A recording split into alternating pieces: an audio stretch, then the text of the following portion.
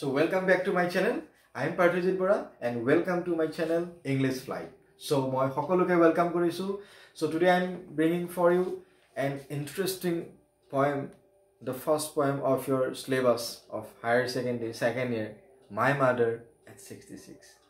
So poem to আমি start কৰা আগতে before going to the depth of the poem, I want to make you feel the importance of mother in our life.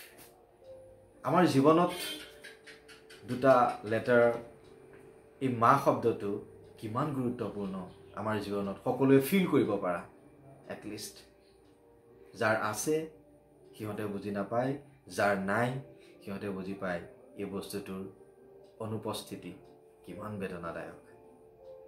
The poem will talk about the significance of mother about the deterioration health of mother মাক লাহে লাহে বৃদ্ধা হ'বলৈ ধৰে।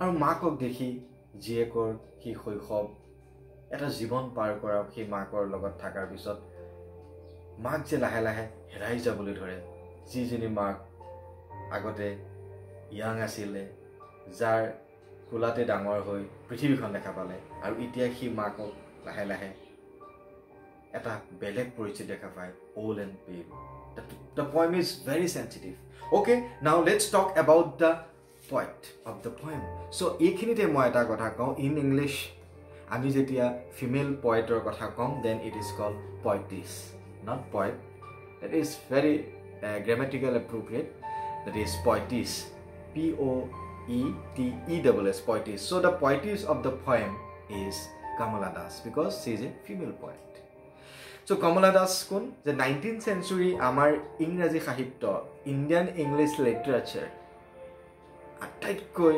Sensitive female writer points বুলি ক'লে নভেলিষ্ট বুলি ক'লে she comes first and she is known for the novels and she wrote in two languages she is a bilingual poets and bilingual novelist bilingual short story writers মধু মাধৱী মাধৱী কুট্টিৰ নাম দি পেলাই তেওঁ মালায়ালম আৰু ইংলিছত mainly লিখিছিলে।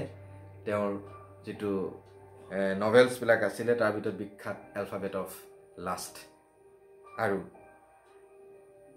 তেওঁৰ জন্ম হৈছিলে মালাবাৰ কেৰেলাৰ।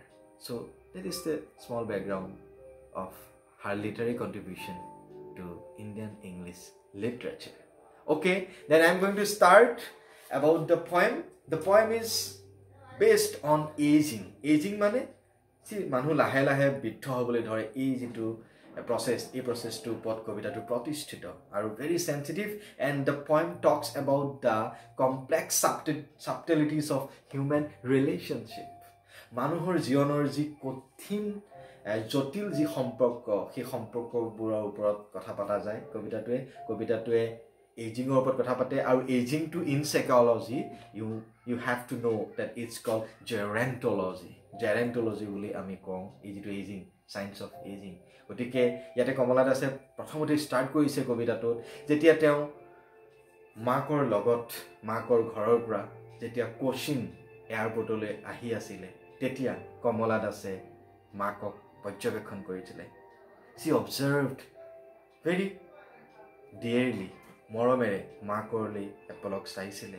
আৰু মাকক কৈছিলে যে driving from my parents home to Cochin আৰু এই পইণ্টটো আৰু এটা ইণ্টাৰেষ্টিং এই কবিতাটোৰ আৰম্ভণিৰ পৰা লাষ্টত এটাই ফুল ষ্টপ হয়। গতিকে গোটেই কবিতাটো চুটি আৰু এটা চেণ্টেঞ্চ চেণ্টেঞ্চতেই শেষ কৰে ফুল ষ্টপ এবাৰেই কৰে।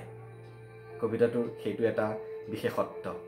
Special feature of the poem one and finish with one full stop driving from my parents home to Cochin last Friday morning I saw my mother beside me যে মই মাৰ লগত যেতিয়া মই কোচিনলৈ যেতিয়া মই গৈ আছিলোঁ কেতিয়া গৈ আছিলোঁ কুৱেশ্যন আহে when did the poet start with her mother কোনে কৈ আছে? কমলাত আছে মাকৰ। লাষ্ট ফ্ৰাইডে মাকৰ লগত যেতিয়া কোচিনলৈ আহি আছিলে তেতিয়া পঁয়ত্ৰিছ কমলাত আছে মাকক she observe her mother who was sitting beside her মাকলৈ বুলি এপলক চাইছিলে।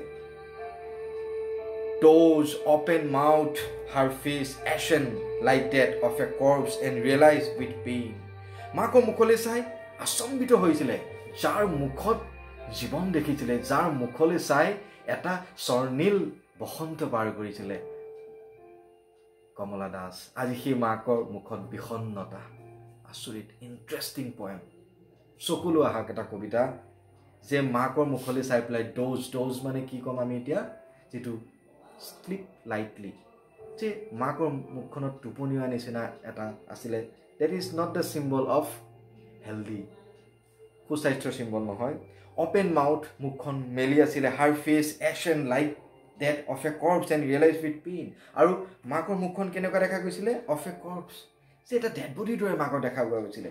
ৰিয়েলাইজ উইথ পেইন আৰু দুখ যন্ত্ৰণাৰ মই মাকৰ মুখখন। That she was as old as she look but soon put that thought আৱে যে মাক মাকৰ বয়স যিমান হৈছে তাতকৈ যে বেছি বুঢ়া দেখা গৈছিলে মাকক। এনেকৈ মাকলৈ চাইছিলে কাষত বহি অহা মাকলৈ out at spring out at young tree sprinting the memory the merry children spilling out of their homes তাৰপিছত কবিয়ে এই মাকৰ প্ৰতি চাই থাকোঁতে তাৰপিছত কবিয়ে ভাবিলে যে ইমান ইমান অশান্তি লাগিছে মাক আজি বুঢ়া হৈ গ'ল। লগে লগে সেই ভাৱটো আঁতৰাবৰ কাৰণে বাহিৰলৈ চাই পঠিয়াইছিলে। And look out the sprinting young trees the merry children spilling out of their homes এতিয়া এইখিনি প্ৰশ্ন আহে কিয় বাহিৰলৈ চাই পঠিয়াইছিলে? কাৰণ সেই ভাৱনাটোত ইমান মানে she was sinking in the emotion that she is going that her mother is going to old সেই ভাৱনাটো দূৰ কৰিবৰ কাৰণে বাহিৰৰ গছ গছনিলৈ চাই পঠিয়াইছিল কেনেকুৱা গছ গছনি য়াং স্প্ৰিণ্টিং ট্ৰি স্প্ৰিণ্টিং মানে ৰানিং খুব গাড়ীত গৈ থাকিলে যেতিয়া ফাষ্ট গৈ থাকে তেনেকুৱা সাৰি যোৱা মানে একদম য়াং গছবোৰলৈকে চাই পেলাইছিলে এইকাৰণে চাব যে C one two C one two hide her emotion তেওঁৰ আৱেগ মাকৰ প্ৰতি থকা আৱেগটো লুকুৱাবৰ কাৰণে গছবিলাকলৈ চাইছিলে আৰু কাইলৈ চাই পঠিয়াইছিলে children merrily spilling out of their homes অৰ্থাৎ আনন্দত ঘৰৰ পৰা বাহিৰলৈ ওলাই অহা ল'ৰা ছোৱালীবিলাক যেতিয়া স্কুললৈ যাবলৈ আহিছিলে বাটত সেই স্কুলৰ বা ঘৰৰ পৰা ওলাই অহা সৰু সৰু বাচ্ছাবিলাকলৈ চাইছিলে। এইকাৰণে চাব বিচাৰিছিলে কম্পেয়াৰ কৰিছিলে আৰু মাকৰ সেই ভাৱনাটোৰ পৰা লুকাব বিচাৰিছিলে। মই জাষ্ট দেখাব বিচাৰিছোঁ Kamala Das main theme of the poem ageing the complex subtleties of human relationship আৰু ইয়াতে ৱৰ্ড মিনিং আমি লিখি দিছোঁ does sleep lightly corpse dead body ashen very pale বুজোৱা হৈছে যিটো বেমাৰত যিটো হয় that is called ashen very pale and sprinting running okay so' that is the first part I have finish the half part of the poem in the next video' I will complete the video'